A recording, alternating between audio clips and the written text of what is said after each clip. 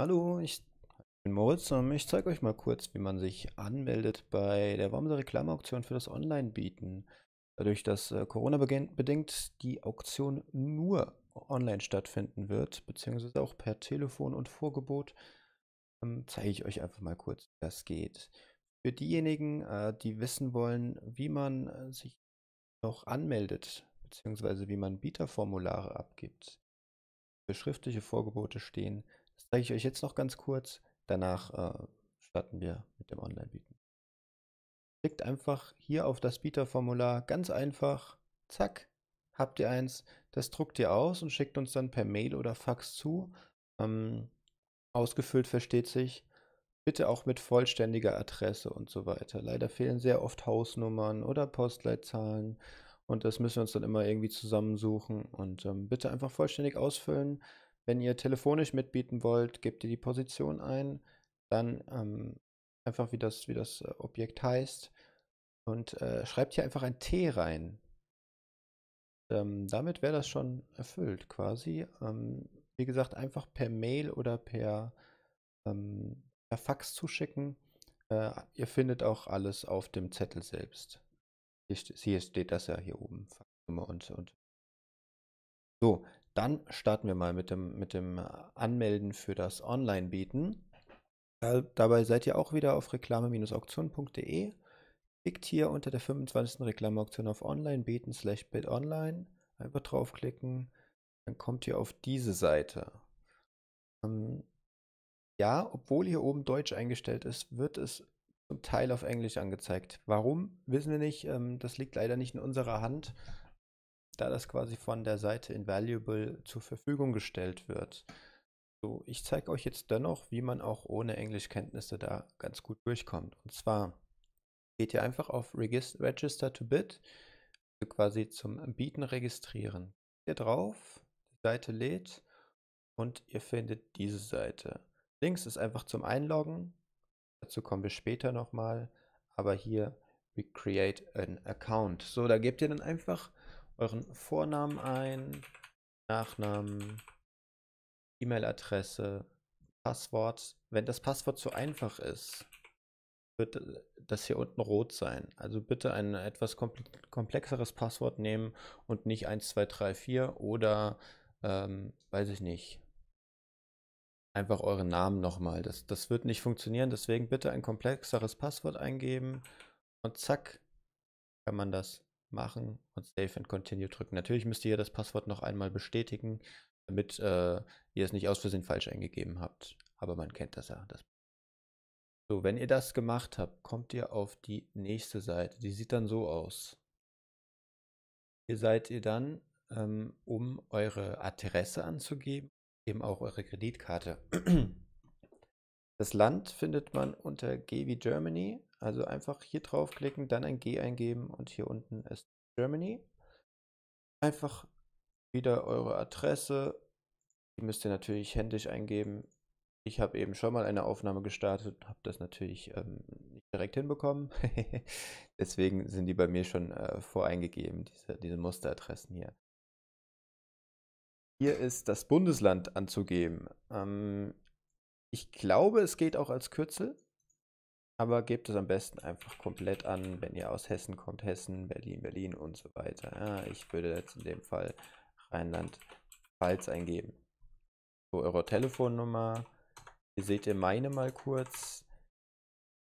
Habe ich absichtlich jetzt auch kenntlich gemacht, anders als die Adresse, da ich, äh, da ihr mich gerne anrufen könnt oder beziehungsweise mir auch schreiben könnt, einfach WhatsApp oder SMS wenn ihr Probleme damit habt, euch anzumelden, dann geht es weiter mit der Kreditkarte. Die Kreditkarte ist nur zur Sicherheit da. Das ist nicht eure Zahlungsmethode. Die Kreditkarte ist dennoch bitte auszufüllen von euch, denn ähm, alle, die keine Kreditkarte angeben, müssen von Marc manuell freigegeben werden. Wenn ihr euch nicht kennt, wird er das sehr wahrscheinlich nicht machen wenn ihr keine ähm, von uns seid, die, die eben bekannt sind oder weiß ich nicht, ja, ihr euch mit einem anderen Namen angemeldet habt, dann äh, kann es sehr gut sein, dass Marc euch da nicht freigibt, ihr dann dadurch nicht mitbieten könnt. Des Weiteren, wenn man keine Kreditkarte angibt und erst freigeschaltet werden muss, muss man warten, bis der Mark einen freigeschaltet hat, muss sich dann ausloggen, dann wieder einloggen und erst dann kann man bieten. Man kann nicht einfach eingeloggt bleiben. Deswegen, das ist sehr, sehr umständlich. Gebt einfach eine Karte an, die ist nur zur Sicherheit. Ihr könnt dann immer noch bar zahlen, ihr könnt immer noch per Überweisung zahlen.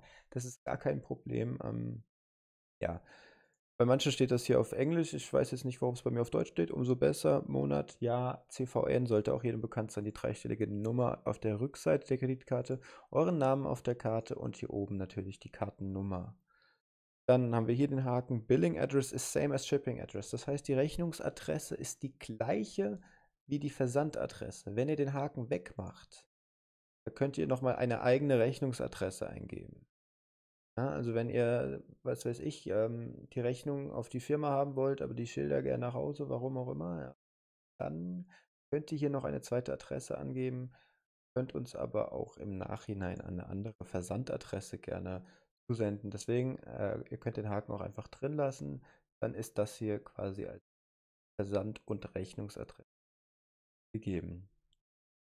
Dann bitte noch den AGBs zustimmen indem ihr hier einmal auf das weiße Kästchen klickt, sodass der blaue Haken erscheint. Dann drückt ihr auf Register. Wenn ihr das gemacht habt, kriegt ihr eine E-Mail, beziehungsweise kriegt ihr vorher schon bei dem, bei dem Screen davor. Aber wenn ihr das gemacht habt, kommt ihr auf diese Seite. Dann seid ihr eingeloggt. Ähm, wenn ihr eingeloggt seid, könnt ihr auf, also das steht dann hier oben mein Konto oder My Account oder so irgendwas. Könnt ihr hier auf Explore Auction gehen und werdet, werdet weitergeleitet auf diese Seite. Diese Seite, ähm, die meisten von euch kennen das schon, auch wenn sie noch nicht gemeldet waren. Ähm, hier sind unsere ganze, ganzen Lose inklusive Detailbilder und Beschreibungen. Ähm, man kann sich auch mehr pro Seite anzeigen lassen. So, wenn ihr jetzt bieten wollt, geht ihr einfach auf irgendein Los. Ach so, was ich vorher noch sagen wollte, wenn ihr auf das Herz klickt, könnt ihr euch das äh, Los immer markieren. Klickt auf das Herz, das geht mir nicht, weil ich nicht an. Geht auf das Herz, dann wird es euch markieren. Ihr könnt das später leichter wieder abrufen. Ähm, wenn ihr jetzt bieten wollt, dann geht wartet kurz bis es offen ist. Gebt hier euer Höchstgebot ein. Daneben seht ihr die ganzen Detailbilder. Ähm, insgesamt sind das äh, knapp 4000 Bilder. Wie gesagt, hier gebt ihr dann euer Höchstgebot ein und äh, drückt dann auf Leave Bid. Wie auch beim schriftlichen Gebot ist das Höchstgebot, heißt nicht, dass ihr auch unbedingt zu diesem Gebot den Zuschlag bekommt. Also äh, wenn, wenn niemand anderes äh, höher geboten hat. Ja, wenn jetzt der letzte hier 5000 bieten würde, ihr bietet 6000, dann kriegt ihr es trotzdem für 5,5. Normalen 10% gelten. Hier unten habt ihr ganz normal die deutsche Beschreibung, die ihr aus dem Katalog kennt und auch die. Könnt ihr auch gern wieder zurückgehen und euch alles weiter angucken und weiter. Wie auch immer. Am Tag der Auktion selbst wird alles live ablaufen. Das heißt, ähm, ihr werdet den Markt sehen können, ihr werdet die Schilder vorgezeigt bekommen per Kamera, ihr werdet den Markt hören können. Und ähm, es wird live geboten. Ihr habt dann eine Schaltfläche, live mitbieten zu können. Ihr kriegt angezeigt, wo das Gebot gerade steht, was der nächste Schritt wäre.